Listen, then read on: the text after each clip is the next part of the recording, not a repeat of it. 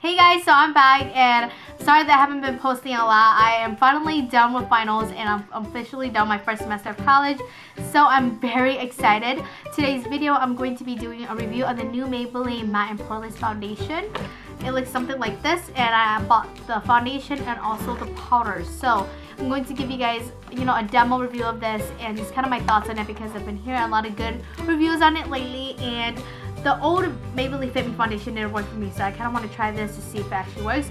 Just to let you guys know a little, you know, information about my skin. I have dry, you know, dry normal skin. It really depends. I get really dry on my forehead and then around my nose area. So if you are, if you're a dry person, you might want to know if this foundation works for you because this is basically for normal to oily skin and sometimes matte looks can make us dry skin people really flaky and stuff. So I'm just gonna share you guys my thoughts. Let's just get started. So we're going to start off by priming my face and I am actually going to prime my face with the Maybelline Baby Skin Pore Eraser. You guys know I like this stuff. And I usually like to do foundation review without primer but I really recommend you to use a primer anyways because for me I don't like the feeling of you know just the foundation on top of my skin. I like something else under it. So yep, I'm just going to prime my face. And let's see how long this foundation will last.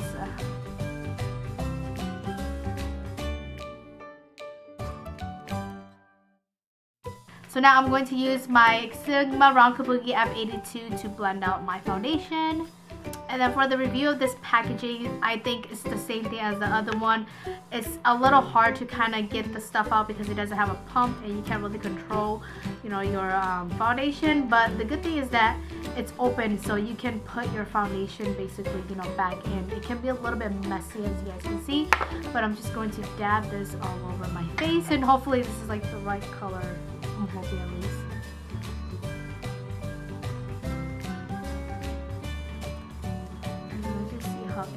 When I start blending. It's gonna start blending out.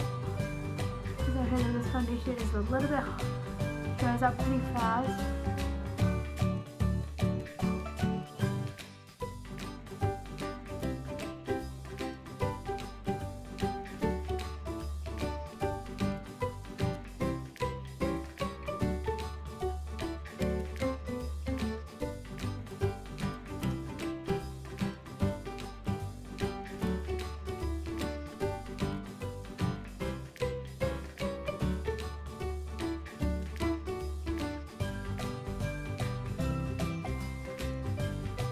So this is the first layer and as you guys can see it did cover up some of my blemishes right here. I have some right here and then also some of it right here.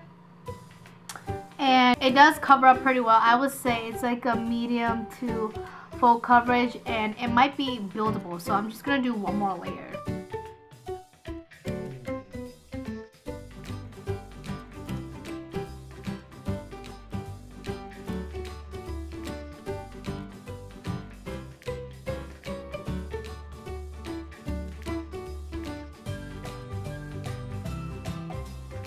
So this is the second layer and I did cover up some more blemishes. I covered up this red part right here that you guys can't see. I have like a blemish right there and then I also covered up some of the redness spots over here that I have. And I'm pretty surprised that, you know, the coverage is really good actually. Actually, this foundation actually matched my neck, which I'm kind of surprised. Now, since I'm done, I'm going to use the Maybelline Fit Me, the Matte Poreless powder, and this is the shade 130. I think this might be a little bit darker for me because my foundation is 125, but I think it shouldn't make that big of a difference. So let's just see how good this powder is.